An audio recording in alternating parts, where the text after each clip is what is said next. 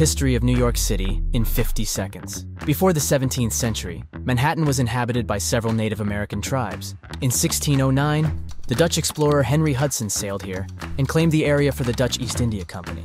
The Dutch had formerly purchased the island from the local tribes for just $24. They built a city here and called it New Amsterdam. In 1664, the British Empire seized control of New Amsterdam and renamed it New York. The British Empire went on to colonize most of North America.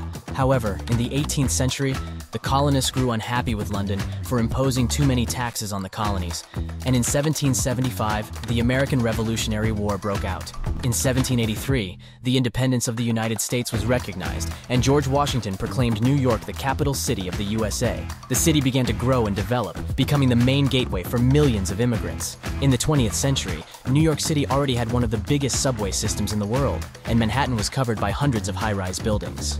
So, this was